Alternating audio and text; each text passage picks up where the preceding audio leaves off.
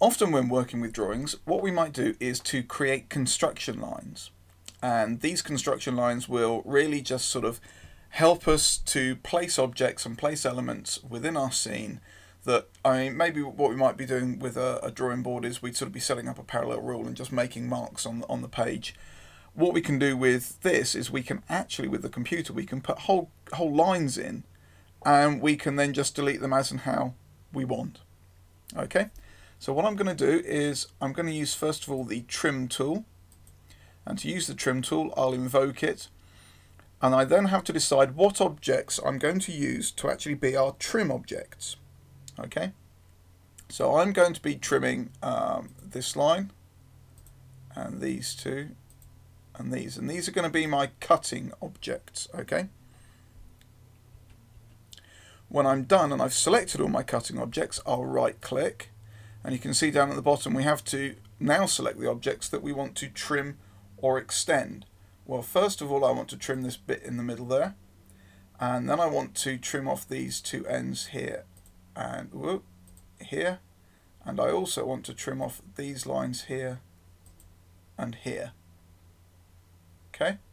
And I'm probably going to trim that and that as well. And what that's done is that's just shown that there's a little bit of detail in here uh, on this object and of course if I need to what I'll do is I'll select those lines and I'll move them probably onto the visible layer there we go. Now hopefully that's moved them onto the visible layer. Oh, should have done.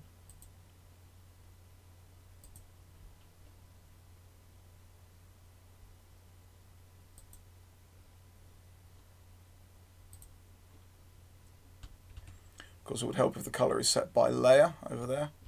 So there we go. So that's moved them onto that layer, and now they're the same layer as the component that we needed. So that's all well and good. So that's trimming objects fairly straightforward. In its simplest essence, I've got a line there. I'll just draw a couple of lines here and I've got one line there and what I'm going to do is I'll say trim that will be my cutting object and that will be the side that I want to trim away all very easy very very simple very very straightforward uh, extend actually what I'll do with this I'll show you extend is just as easy in essence what we're going to do is we're going to say extend. This will be my object to extend to, and that will be the object I'm going to extend. And you can see there that it comes up to the line as it should do. So to put that in a little bit more of a practical sense, such as the example that we saw here where we had all our cutting objects.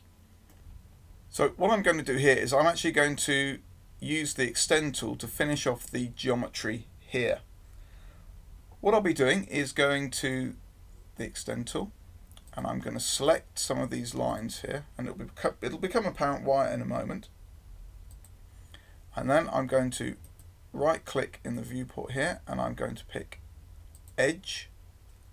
And then I'm going to say that I want to extend and what I'll now do is I'll now pick these lines and can you see they're extending off down in the correct way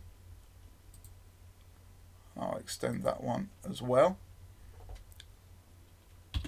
Press enter and that's just finished things off. So now I've actually created lines that were all parallel with each other and they match up correctly. What I need to do is to trim this section here.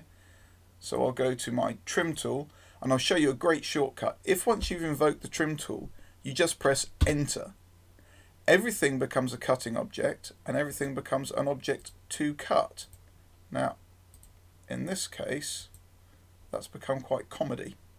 So what I'm going to do is I'll uncheck those. I think, I'm not quite sure what's happened there. Uh, let's go to trim again and I'll select that object and that object then. And then I'll right click and then I'll kill off that and that. Okay, well that works a little bit better. Um, you can see that we've now finished that off. It's all nice and neat and tidy. And I'll take these objects and I'll delete them. Um, normally that pressing enter key works. I think in this instance uh, it didn't because we'd actually extended the line so it was getting a little bit confused with itself there. But in actual fact that does normally work. So that's trimming and extending.